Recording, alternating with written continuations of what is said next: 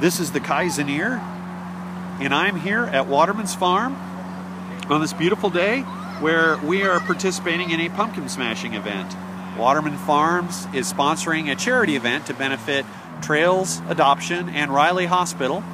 And you donate, and then you get your chance to smash pumpkins or throw them off a large tower. This idea here actually came because I suggested to them that they would have this event uh, for a small group of people, and now they've turned it into this bigger event for charity, which is fantastic.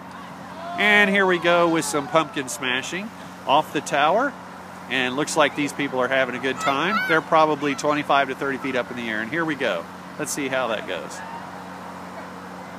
Oh, beautiful. And we're having a great time there. And then we also have a target practice area where you can catapult your pumpkin at a set of these targets. So here we go. Let's see how she does.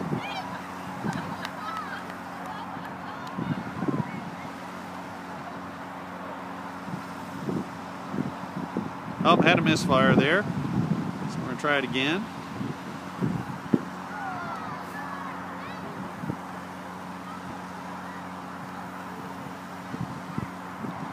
There we go. Oh, nice hit, nice air.